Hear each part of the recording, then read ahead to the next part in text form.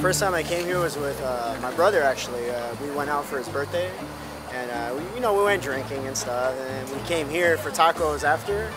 I swear I, I don't know how many I ate, but I just kept coming back. After first I got four, then I got five, and I just kept coming back. Uh, mi nombre es Rafael Martínez Hernández, soy de México, del estado de Oaxaca. Uh, desde que llegué sí abrimos aquí este negocio con mis hermanos. De hecho yo trabajaba en México, ellos me hablaron que sí, que había oportunidad, una oportunidad aquí para mí para trabajar.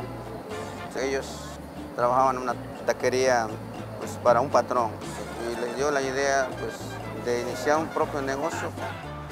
Leo's Taco Truck started in uh, 2009 uh, know, during the decline of our economy, but uh, thankfully the dollar taco was very attractive and uh, folks around the area really uh, uh, responded to it.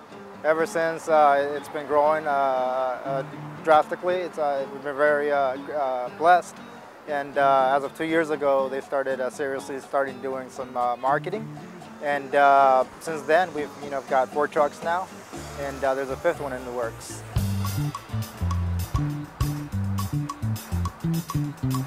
Al Pastor is my favorite because uh, my family's from DF.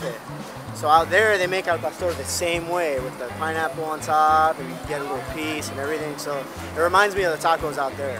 Awesome, pretty much. it's really juicy, tender. Uh, the pineapple is just a little hint of sweetness, a little bit of salty. Plus they got some really good salsas that you can put on top. So every different salsa makes a different flavor on the actual taco. So it's, it's really good. The most popular uh, uh, item here obviously is the taco al pastor. Um, you know, our slogan is uh, al pastor on a, on a, griddle should be a crime. Uh, but uh, yeah, people love it. It's a show.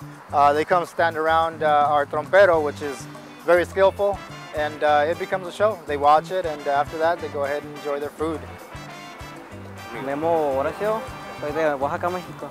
Eh, aquí llevo trabajando cuatro meses. Lo de menos, trabajar y Kota